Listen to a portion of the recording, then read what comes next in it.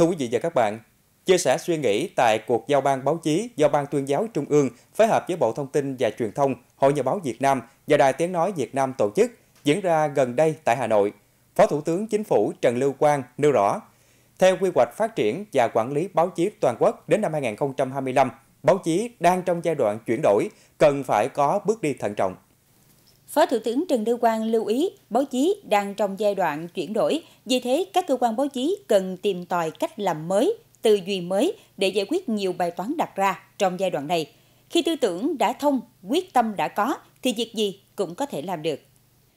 Theo Phó Thủ tướng Chính phủ, trong giai đoạn chuyển đổi hiện nay cần những bước đi thận trọng và nỗ lực của cả nhà nước và các cơ quan báo chí. Trong đó, nhà nước tập trung xây dựng thể chế, quy định để tạo thuận lợi cho hoạt động báo chí, còn các cơ quan báo chí tìm ra cách làm mới, tư duy mới để giải quyết những bài toán đặt ra. Phó Thủ tướng đề nghị các cơ quan chức năng chủ động cung cấp thông tin cho các cơ quan báo chí, nhất là trước thềm các sự kiện lớn, để báo chí phát huy vai trò là kênh cung cấp thông tin chính thống cho xã hội trước sự phát triển nhanh chóng của các nền tảng mạng xã hội khuyến khích những hoạt động giao lưu, trao đổi thẳng thắn, chân thành như cuộc giao ban báo chí hôm nay và khẳng định sẽ sẵn lòng tham dự các hoạt động tương tự để cùng tìm ra giải pháp cho vấn đề kinh tế báo chí trong giai đoạn hiện nay.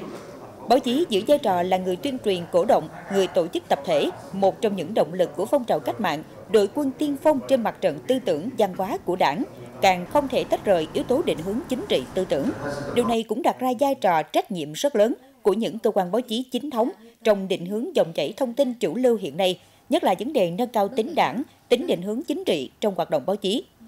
Thay mặt lãnh đạo chính phủ, Phó Thủ tướng Trần Lưu Quang chúc người làm báo cả nước luôn giữ tâm trong, trí sáng, tràn đầy năng lượng để bước tiếp trên chặng đường còn nhiều trong gai, nhưng chắc chắn sẽ vinh quang, cùng chung tay xây dựng nền báo chí cách mạng Việt Nam tiếp tục phát triển và hội nhập.